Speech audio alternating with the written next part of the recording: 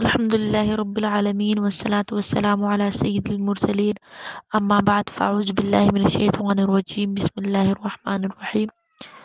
السلام علیکم ورحمۃ اللہ وبرکاتہ پیارے ناظرین، آج ہم آپ کو سلام قلم رب الرحیم پڑھنے کی فضیلت اور اس کی طاقت بتانا چاہتے ہیں۔ اگر آپ صبح یا شام سورہ یاسین کی اس چھوٹی سی آیت کا وظیفہ پڑھتے ہیں تو اس سے کیا فائدہ ملتا ہے؟ لیکن اس سے پہلے اگر آپ نے ابھی تک ہمارا چینل وظیفہ عالم سبسکرائب نہیں کیا تو ہماری آپ سے گزارش ہے کہ سب سے پہلے آپ وظیفہ عالم کو سبسکرائب کریں اور ساتھ ہی لگے بل کے بٹن پر بھی کلک کر لیں۔ تاکہ آپ کے پاس ہماری ویڈیوز کا نوٹیفیکیشن بر وقت حاصل ہوتا رہے۔ سامعین کرام، سب سے پہلے بات کرتے ہیں سلام قلم رب رحیم کی فضیلت کے بارے میں۔ قرآن پاک میں ہر مشکل اور ہر بیماری کا حل موجود ہے، بس عقیدہ مضبوط ہونا چاہیے۔ قرآن پاک میں اللہ رب العزت کا ارشاد ہے کہ ہم قرآن میں وہ چیزیں اتارتے ہیں جو شفا اور رحمت ہے ایمان والوں کے لیے۔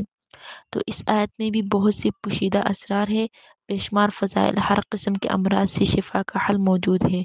ہر چیز کا دل ہوتا ہے اور قرآن پاک کا دل صورت یاسین ہے اور صورت یاسین کا دل یہ آیت ہے۔ آج کل یہ جو کالے علم اور کالے جادو کا مرض بڑھتا جا رہا ہے، کوئی نہ کوئی ہر گھر میں اس مرض میں مبتلا نظر آتا ہے، تو یہ عمل ان کے لیے بہت خاص ہے۔ جو جادو وغیرہ سے پریشان ہے، اگر کسی پر کالا جادو کیا گیا ہے جس کے باعث شدید بیمار رہتا ہے، تو ایسے مرض کو صحت یاب کرنے کی غرض سے باوضو حالت میں یہ آیت تین سو مرتبہ پڑھ کر پانی پر دم کر دے اور مریض پر بھی دم کر دے اور دم کیا ہوا پانی مریض کو سات دن تک پلائے اور اول آخر درود پاک ضرور پڑھے۔ انشاءاللہ جیسا بھی کالا جادو ہو، اس کا خاتمہ ہو جائے گا۔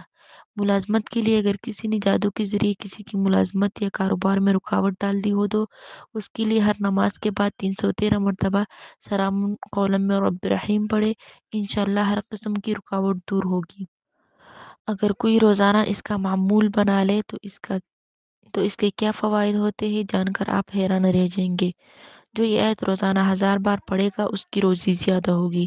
جو شخص بعد نماز فجر روزانہ چالیس بار پڑھے، جو کچھ چاہے اللہ تعالیٰ عطا فرما دیں گے۔ کسی پر جن پری آصف کا اثر ہو، تو بائے کان میں ہی آت پڑھ کر دم کرے، انشاءاللہ اثر اتر جائے گا۔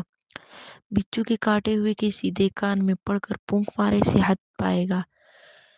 جو شخص کسی ضروری کام کے لیے پندرہ یا تیرہ بار پڑھے، انشاءاللہ کام انجام بالخیر ہوگا۔ جو شخص چار بار پڑھ کر حاسد کے گھر پر پونک مارے، حاسد ناکام ہوگا۔ جو کوئی سات بار پڑھ کر مجلس میں آئے، مجلس والے اس کی تعظیم کریں گے۔ اور یہ آیت اچھی جگہ شادی کے لیے بہت مجرب ہے۔